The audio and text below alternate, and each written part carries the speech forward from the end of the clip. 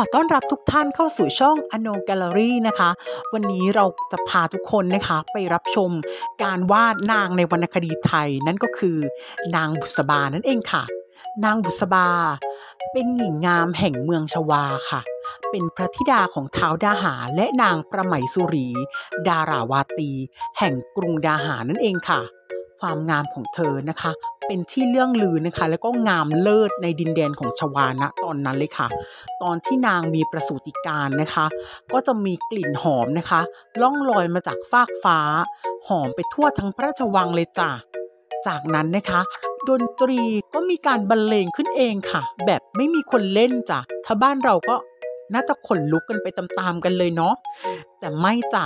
เขาก็ยินดีนะคะ ผู้คนนะคะมีความปิติปลื้มปิติยินดีจ้า และจากนั้นไม่นานนะคะ พอนางเริ่มโตขึ้นนะคะ นางก็ทั้งฉลาดนะคะ มีความเป็นมิตรไมตรีที่ดีค่ะ มีจิตใจเมตตากรุณานะคะ และใจกว้างค่ะ และมีไหวพริบปฏิภาณนะคะ ทันคนค่ะ พูดง่ายๆว่าไม่โง่นั่นเองจ้า และจากนั้นไม่นานนะคะ พอนางเนี่ยเริ่มเข้าสู่วัยสาวสะพรั่งนะคะ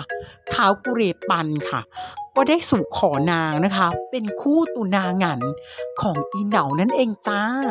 ก็ประวัติคร่าวๆก็ประมาณนี้นะคะ ถ้าใครอยากที่จะทราบ หรือว่าศึกษาข้อมูลเพิ่มเติมนะคะ ก็สามารถเข้าไปศึกษาข้อมูลกันได้นะคะ ตามสถานที่ต่างๆ ได้เลยจ้า โอเคค่ะ เรามาชมการวาดกันต่อเลยเนาะ